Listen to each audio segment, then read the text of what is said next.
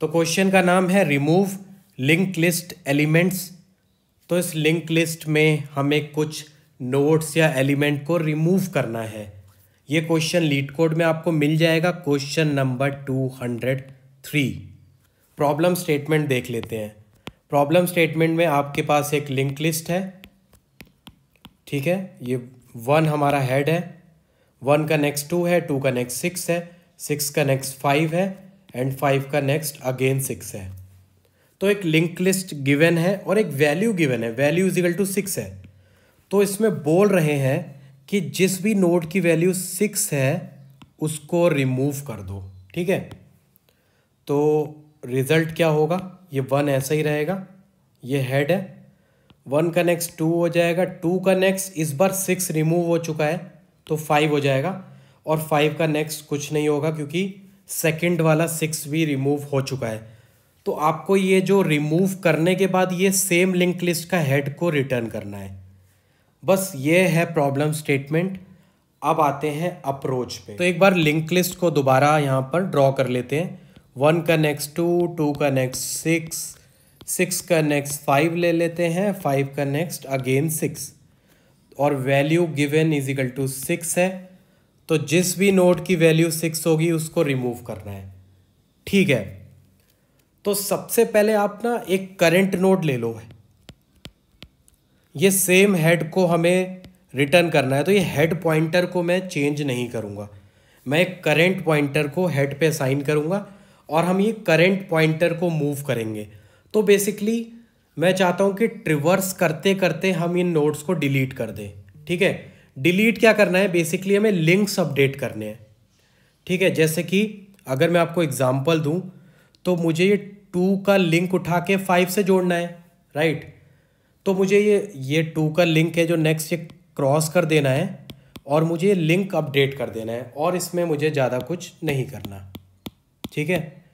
तो क्या अप्रोच हो सकती है? सबसे पहले हम हेड से स्टार्ट करेंगे, जो हमने एक और पॉइंट लिया है करंट और मैं करंट का जो नेक्स्ट एलिमेंट है, वो चेक करूँगा, ठीक है? अभी मैं ये पहला नोड चेक नहीं कर रहा हूँ, क्योंकि मुझे आइडिया नहीं है कि पहला नोड कैसे चेक करें या उसको बाद में चेक करेंगे। अभी हम पहले नोड पे बैठे हुए हैं और हमें करंट का जो अगला नोड है करंट डॉट नेक्स्ट वो चेक करना है कि उसकी वैल्यू अगर सिक्स है या नहीं है। ठीक है? तो ये करंट डॉट नेक्स्ट चेक करना है। और एक कंडीशन आपको कोड में लिखनी होगी। मैं यहाँ लिख देता हूँ। तो बेसिकली क्या है? वाइल लूप में जब आप ट्रिवर्स करो तो आपको ये लिखना पड़ेगा, ये जो करेंट डॉट नेक्स्ट है, ये नल नहीं होना चाहिए नॉट इक्वल टू नल क्यों? क्योंकि हम क्या कर रहे हैं? हम ये इस टू को चेक कर रहे हैं। अगर ये टू नल होगा तो हम ऑब्वियसली हम एंड पे आ चुके हैं, हमें रुक जाना है। ठीक है? तो ये current dot next at least null नहीं होना चाहिए। तो अभी टू को चेक करते हैं। तो ये टू सिक्स के इक्वल नहीं है।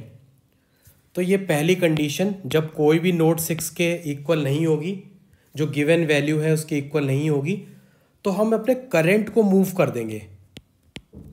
करंट को यहाँ मूव कर रहे हैं, ठीक है? तो मेरा करंट ये टू पे आ जाएगा। ऑब्वियसली मुझे करंट को थोड़ा सा आगे लेके जाना है, ताकि मैं अब नेक्स्ट एलिमेंट क्या है? करंट डॉट नेक्स्ट मेरा है सिक्स अब मैं सिक्स चेक करूँगा। ठीक है? तो अब ये देखो, अब करंट डॉट नेक्स्ट सिक्स है और हमारी गिवन वैल्यू भी सिक्स है। अब हमें सिक्स को डिलीट करना है। तो मैं क्या करने वाला हूँ? यहाँ पर सेकंड केस आ गया। सेकंड केस में हम क्या करेंगे? करंट डॉट नेक्स्ट मतलब जो टू का जो नेक्स्ट है, उसको अपडेट करेंगे। Is equal to current dot next dot next मतलब ये करेंट डॉट नेक्स्ट वाला जो ये लिंक था, मैं इसकी बात कर रहा हूँ, ये जो येल्लो में था, इसको करेंट डॉट नेक्स्ट का लिंक बोलते हैं।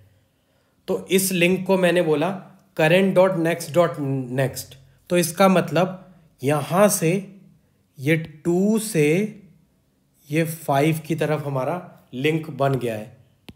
तो ये टू से फाइव की तरफ़ लिंक बन गया है। और इस केस में ध्यान से देखना आप, मैंने करंट को मूव नहीं करा। क्यों मैंने इस करंट को मूव नहीं करा? करंट अभी भी टू पे है, बस मैंने लिंक अपडेट करा है। क्यों? क्योंकि मुझे करंट का नेक्स्ट चेक करना है जो कि फाइव है।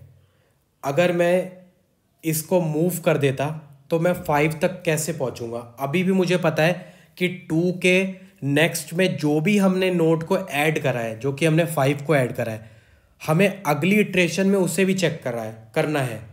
ठीक है? तो इस बार हमने करेंट को मूव नहीं करा, बस लिंक को अपडेट करा। तो दो कंडीशन होगी।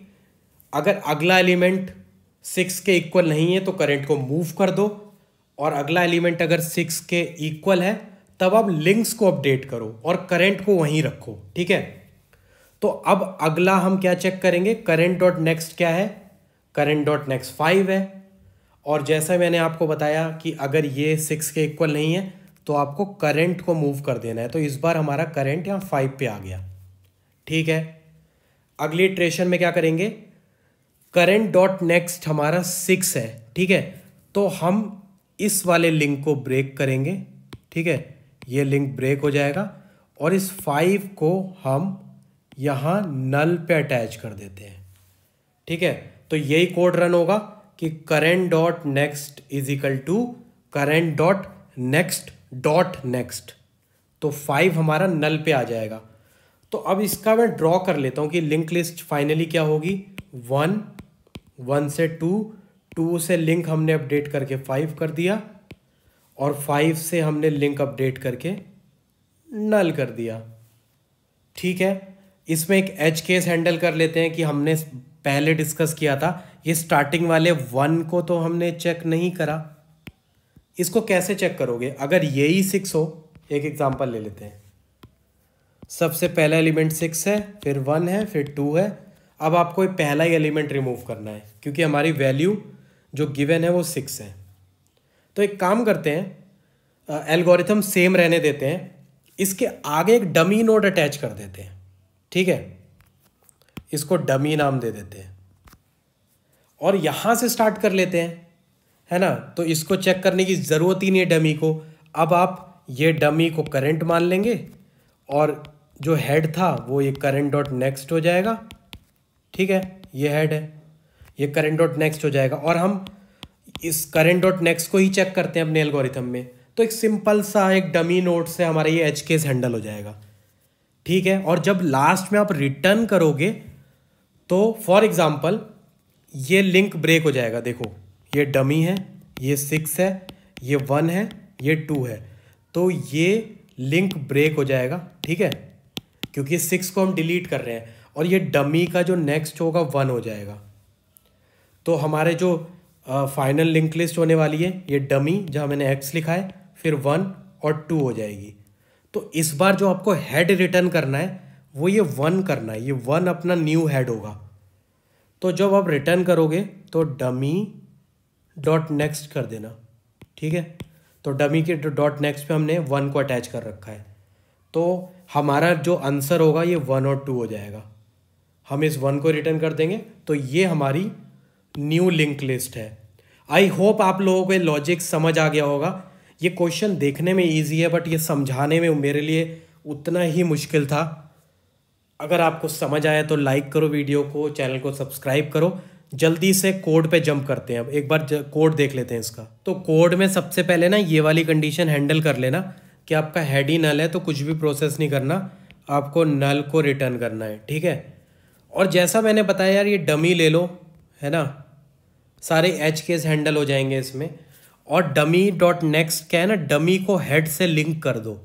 ताकि डमी को, जो मैंने ये डमी बनाया था ना उसको आपने, ये अपनी लिंक लिस्ट का जो हेड है डमी डॉट नेक्स्ट इसमें अटैच कर दिया, ताकि डमी हमारे आगे जुड़ जाए। और हमने करेंट करके एक और पॉइंटर ले लिया, क्योंकि डमी को हम चेंज नहीं करना चाहते ना, क्योंकि फाइनल हमें ये डमी को रिटर्न भी करना है लास्ट में तो एक और पॉइंटर बना लेते हैं करेंट इसको डमी पे साइन कर देते हैं, और इसको मूव करते हैं, ताकि डमी का रेफरेंस हम ना खो जाए, ठीक है?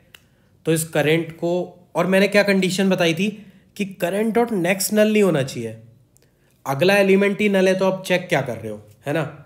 तो करंट डॉट नेक्स्ट नल नहीं होना चाहिए। और इसमें दो पॉइंट मैंने बताए थे। अग, जैसे कि वैल्यू सिक्स है, ठीक है? अब यहाँ देखो करेंट डॉट नेक्स्ट अगर जो अगला एलिमेंट है, जो डमी का अगला एलिमेंट क्या है सिक्स है। अगर ये वैल्यू मैच हो जाती है तो आपको क्या करना है? आपको लिंक को डिलीट करना है, ठीक है? ये लिंक डिलीट हो जाएगा। ये जो लिंक है, ये डिलीट हो जाएगा। तो इधर भी यही कर रहे हैं। अगर मैं कोड में आपको दिखाऊँ, ये जो लाइन है, ये डिलीट ही कर रही है, ठीक है?